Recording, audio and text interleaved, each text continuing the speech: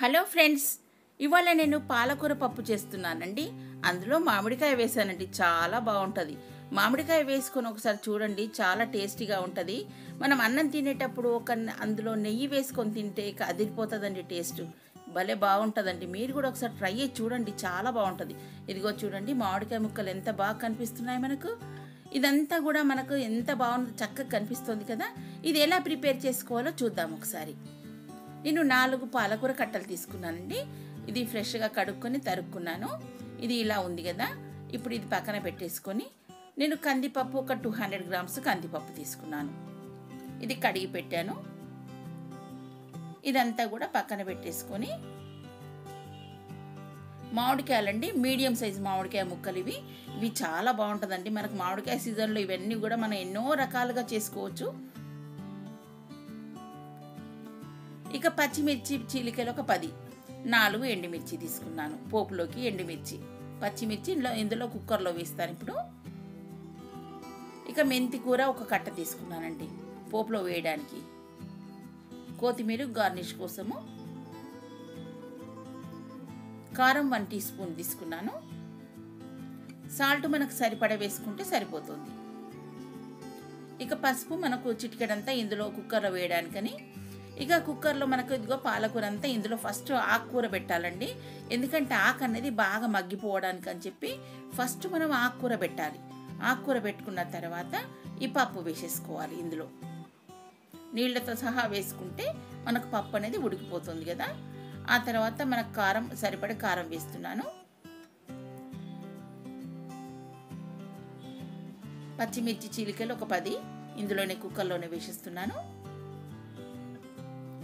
ఇక పసుపు చిటికెడంతా. ఇదంతా వేసుకొని మనం మూత పెట్టుకొని కుక్కర్లో ఇదిగోండి రెండు విజిల్స్ వచ్చేంత వరకు ఉంచాలి ఇక్కడ. రెండు విజిల్స్ వచ్చేసాయి మనకు.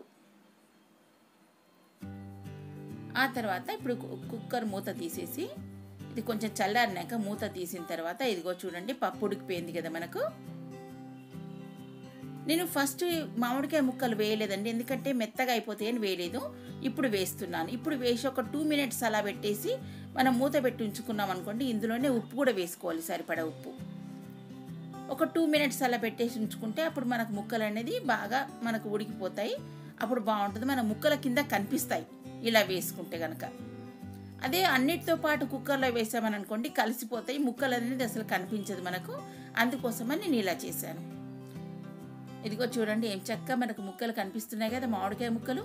మామిడికాయ పాలకూర పప్పు ముక్కలండి ఇవన్నీను. పాలకూర మామిడికాయ పప్పు. చాలా బాగుంటుందండి టేస్ట్. ఇక ఇదంతా మనకు ఉడికిపోయింది కదా ఇక్కడ. ఇదిగో చూడండి ఏం చక్క మనకు అన్నీ కలిసిపోయాయి. ఆ తర్వాత స్టవ్ పైన ఒక చిన్న ప్యాన్ పెట్టుకొని పోపు వేసుకుంటున్నాను. ఈ పోపుకు ప్రిపేర్ చేసుకుంటున్నాను ఒక రెండు స్పూన్ల ఆయిల్ వేసేసుకున్నాను ఇందులో. జీలకర్ర ఆవాలు ఎండుమిర్చి ఇక ఇవన్నీ మన కాయల్లో వేగుతున్నాయి కదా. ఆ తర్వాత ఒక హాఫ్ టీ స్పూన్ అంతా నేను మినపప్పు వేస్తున్నానండి. మినపప్పు పోపులో వేస్తే మనకు భలే టేస్టీగా ఉంటుందండి. అందుకోసం మినపప్పు వేస్తున్నాను. ఇక మెంతికూర ఆకులు కూడా ఇందులోనే వేసేయాలి. ఈ పోపులోనే వేసేయాలి. మెంతి కూర మనకు ఆయిల్లో బాగా వేగాలి. ఎందుకంటే అది చేదు అనేది ఉంటుంది కదా అందుకోసమని. ఇక పది వెల్లుల్లి రెబ్బలు కచ్చాపచ్చ దంచుకొని ఇందులో వేసుకున్నాను.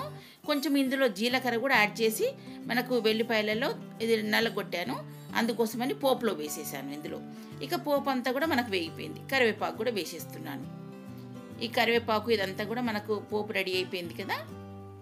ఇక అర టీ స్పూన్ పసుపు వేసేసుకొని ఇక మనకు పోపు రెడీ అయిపోయింది. ఈ కుక్కర్లో మనకు పోపు అంతా కూడా ఇందులో వేసేస్తున్నాను. అబ్బా ఏం చక్కగా ఉందండి. చాలా బాగుంటుందండి. మీరు కూడా ఒకసారి ట్రై చేసి చూడండి ఇలా. పాలకూర మామిడికాయ పప్పుతో చాలా బాగుంటుందండి. మనకు సీజన్ అంతా కూడా మామిడికాయని యూజ్ చేసుకుంటే చాలా బాగుంటుంది. ఇది పుల్ల పుల్లగా టేస్ట్ అది వేరేగా ఉంటుంది కదా తెలుసు కదా మీకు కూడాను. మీరు కూడా చేస్తారు కదా. ఇలా చేసి చూడండి ఒకసారి. ఇలా ట్రై చేసి చూడండి. ఇక గార్నిష్ కోసం కొంచెం కొత్తిమీర వేసేస్తున్నాను ఇందులో. ఇక మనకు పాలకూర మామిడికాయ పప్పు రెడీ అయిపోయింది. ఓకే ఫ్రెండ్స్ మా వీడియో నచ్చినట్టయితే మీరు లైక్ చేయండి షేర్ చేయండి. Thank you.